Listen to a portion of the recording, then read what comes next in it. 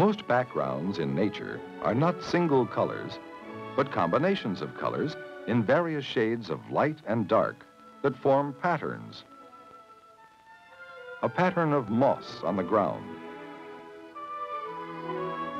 The ridges of bark on a tree. A sharp etching of interlaced twigs and branches. Or the outlines of a leaf cluster.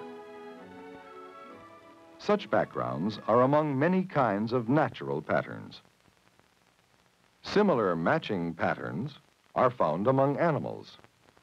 Birds of the nighthawk family, for instance, bear an overall pattern that matches the ground and mossy rocks where they often nest. The pattern of these young nighthawks blends very closely with the grassy ground pattern of their nest.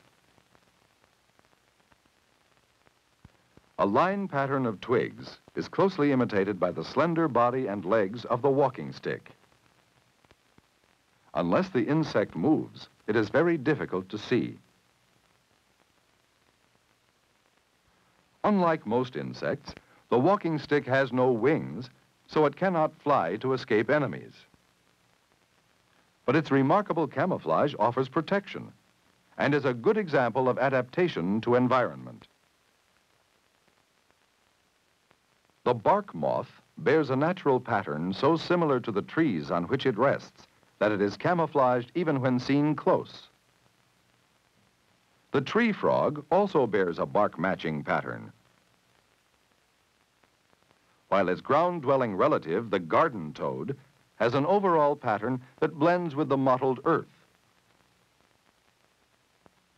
Most small animals, such as the rabbit, bear simple ground matching patterns. These patterns may be modified, as in the case of the ground squirrel, to blend with the open field pattern of grasses and other low plants. This ground squirrel of the Middle West is also known as the striped gopher. A pattern of stripes running lengthwise along the body is found among various animals. It is claimed that such stripes also help to conceal motion. Both sets of these stripes are moving, although the motion of the lower ones is not as easy to detect. The principle of lengthwise stripes in motion is illustrated in this garter snake.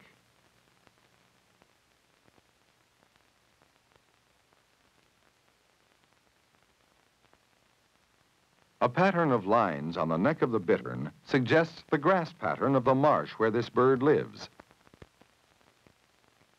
When frightened, the bittern may hold in one position, quite motionless. The lively killdeer plover bears markings similar to the pebbles and shadows of the fields and shorelines where this wading bird lives. The speckled eggs of the killdeer, too, match their surroundings. And the baby chicks are also well camouflaged.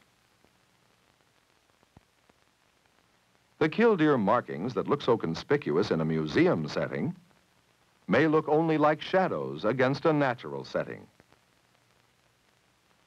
The matching of a natural pattern is even more remarkable in certain animals that can produce a change of skin color.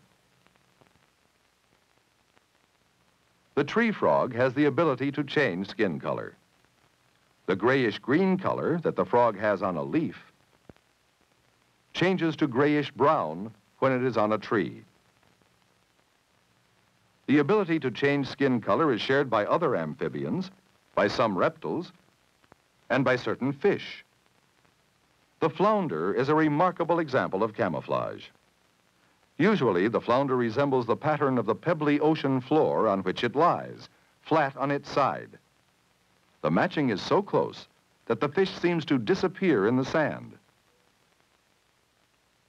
Against light-colored sand, the flounder's color and pattern change to match this background so closely that we barely see the outline of the fish.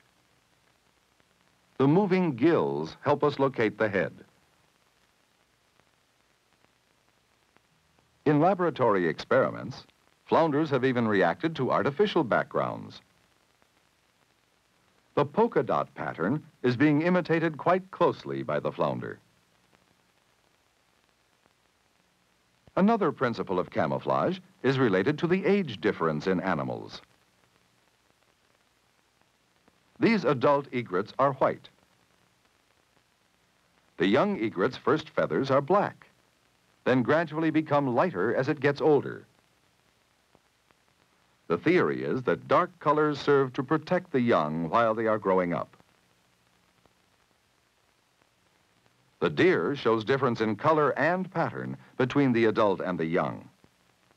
A pattern of sunlight filtered through leaves is suggested by the light flecks on the fawn, whose safety depends on being hidden in a thicket or in tall grass. Mottling and dappling on young animals blends them with their natural background during the period when they are young and less able to escape from enemies. Natural patterns may vary not only with age, but with difference in sex. There is a pronounced difference in coloration between the male and female of many species of birds, as in this pair of bobolinks. Usually, the male is conspicuous and the female drab. Notice how the stripes and drab colors of the female blend with her grassy nesting site. On the other hand, the bold colors of the male may help to divert attention away from his well-hidden family. A similar example is seen in the ring-necked pheasant. The mottled brown pattern of the female blends almost perfectly with the grassy field where she nests. But the bold markings of the male make him stand out clearly. This pair of phalaropes, relatives of the sandpipers, illustrates an interesting reversal of the duties of the sexes. Among these birds, it is the female which is more boldly colored in the markings on the head and neck, while the male incubates the eggs and wears the plainer plumage. Among some animals, breaking up outlines affords camouflage. Some birds have bold areas of contrasting colors, which help to break up the body outline. The shape of the goldfinch is broken up by dark markings on the head, wings, and tail. Bold patterns of color help disguise the overall shape of the red-headed woodpecker. Contrasting markings on the avocet may suggest shadows and reflections that make the body outline harder to see. In many animals, the conspicuous outline of the bright eyes may be disguised by a line or band of color. The black areas on the raccoon's face resemble a bandit's mask. A light or dark streak through the eye is common among many birds, such as the familiar bob-white quail. The bold markings help to break up the outline of the head. Another kind of bold marking that may confuse an enemy are the eye spots on many moths and butterflies.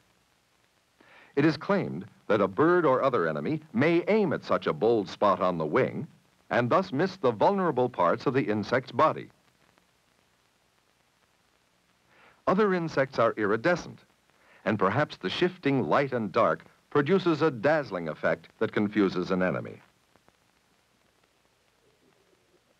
Of course, camouflage may serve to protect an animal in more than one way. The bold markings of the skunk, for instance, help break up the outline of the body. In this particular setting, the white parts blend with the white flowers. But some observers consider such bold markings warning coloration, a kind of advertising to enemies to stay away from such a well-armed animal. And so, by very bold markings, by combinations of bold markings and drab colors, and by overall patterns that match natural backgrounds, camouflage in many variations provides protection for animals in their natural environment.